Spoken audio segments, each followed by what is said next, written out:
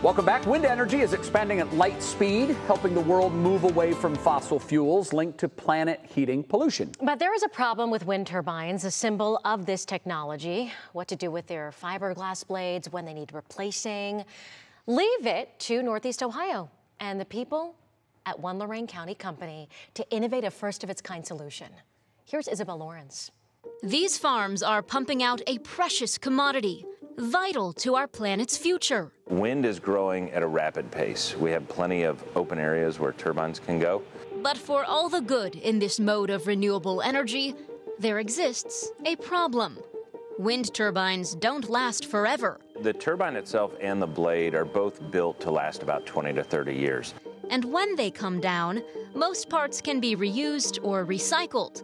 But those decommissioned blades, some outstretching the wings of a Boeing 747, present a Herculean challenge. So fiberglass has long been a problem in the wind industry, what to do with it once it reaches the end of their life. So we were tasked with finding solutions for the blades. Earlier this year, blades started arriving at this Avon building, extending the length of three football fields. This is Canvus. Canvus is a brand. It's a manufacturer of products from retired wind turbine blades that inspires communities to reimagine their spaces. A team of dreamers and innovators, craftsmen and creators who found a way to deconstruct these massive blades into smaller fillets before moving them onto fabrication, scanning, painting, and finishing. Achieving a result proudly shown here. Benches, tables, swings, and blank spaces transformed by artists. Old blades given new life to serve parks, campuses, and gathering places. It's a collaborative effort reaching beyond the walls of this building. We use rubber that comes from tires and shoes. We use composite lumber, which is made of shrink wrap and grocery bags that you see at any retailer or distribution center.